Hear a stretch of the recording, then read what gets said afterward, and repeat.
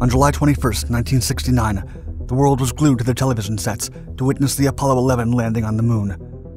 But as important as the feat was, those images were considered blurry, undefined, and of poor quality by today's standards. Consequently, in the early 2000s, NASA set out to recover the original tapes that were initially recorded from the spaceflight's slow scan TV telecast on telemetry data tape.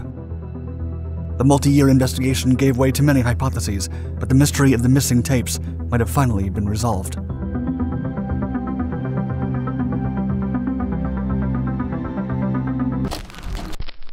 A global broadcast. On July 21, 1969, at 2:56 Universal Time, mankind witnessed the first moon landing, with American astronaut Neil Armstrong becoming the first man to set foot on the lunar surface, followed by Buzz Aldrin only 19 minutes later. To receive the images recorded from the Apollo 11 using the limited radio bandwidth available, the transmission had to be multiplexed with other communication and telemetry channels, and then beamed from the Eagle lunar module back to the planet. The data was then sent to three ground stations Goldstone in California and Honeysuckle Creek and Parkes in Australia. These ground stations recorded the data on special 1 inch 14 track tapes. The Apollo 11 TV camera recorded the video footage in monochrome slow scan television RAW format, or SSTV, at 10 frames per second and with 320 resolution lines progressively scanned. However, this specific format was incompatible for direct broadcast on a standard television, and thus the video had to be converted. NASA's ground stations received the signal and converted it into the NTSC television format in real time. They then uplinked the signal via satellite, which was later downlinked by the Manned Space Flight Center in Houston. The entire world was then able to watch the broadcast, which the announcers enthusiastically proclaimed to be, quote, live from the moon. This broadcast signal was recorded in many videotapes and kinescope films as a backup. But during the following years, NASA didn't specifically protect those hard to read tapes, as the converted version had been widely broadcasted and readily available, including recorded material from a 10 inch high quality monitor. Unfortunately, the conversion process had lowered the quality of the footage, diminishing its sharpness, exposure, contrast, and detail. A long quest.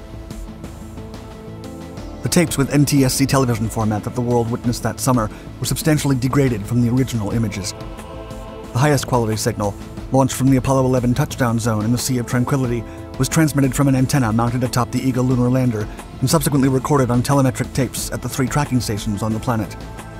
In 2006, news emerged that over 700 boxes of magnetic tapes, including those with the original recordings of the Apollo 11 program, were missing, and a search operation was launched led by NASA engineer Dick Nafzger.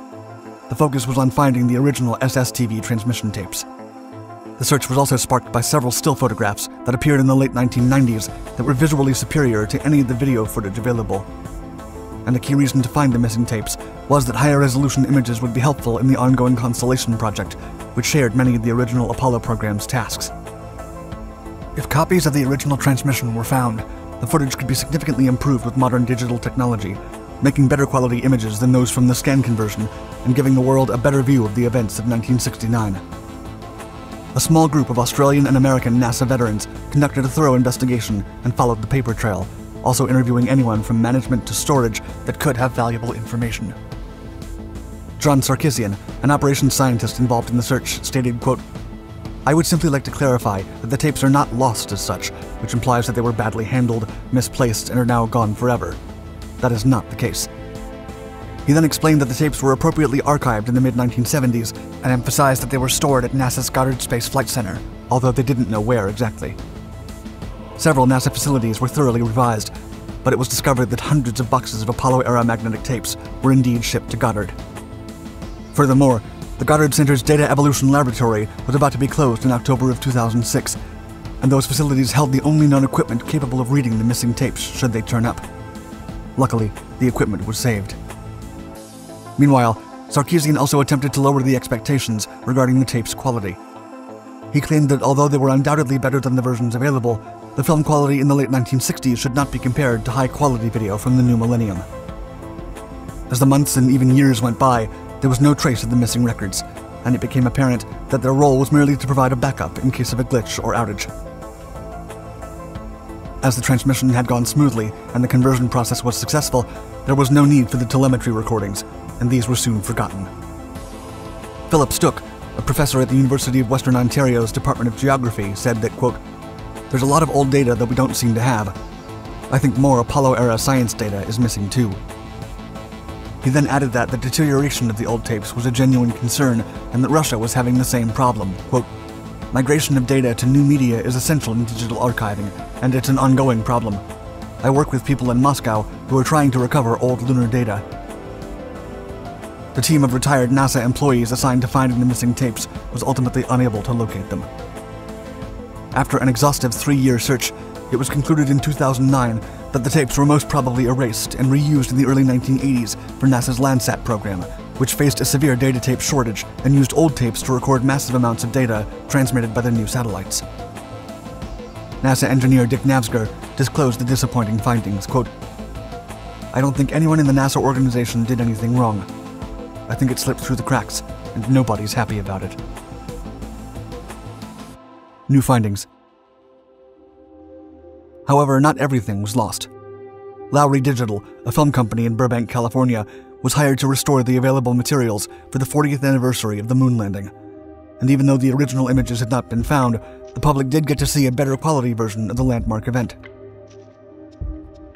Then, in 2019, three 2 inch videotape reels were located because of a Sotheby's auction in New York.